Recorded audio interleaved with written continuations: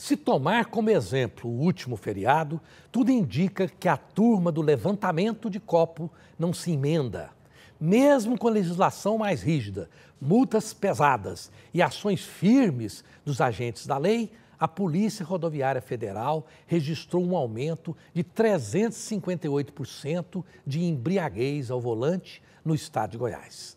Os bebuns irresponsáveis e que terminam fazendo toda a sorte de maluquices morrendo e matando, se lixam para o que é certo.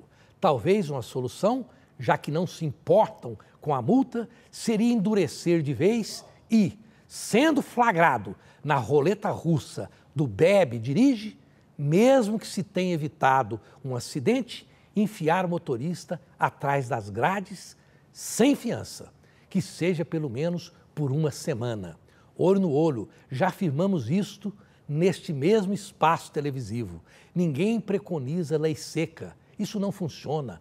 Mas se o cidadão quer tomar todas e se arrebentar, que o faça sem colocar em risco o resto da sociedade. Não é pedir muito, mas para alguns em Goiás parece que sim. A Polícia Rodoviária Federal de Trânsito, que cuida do trânsito, que o diga.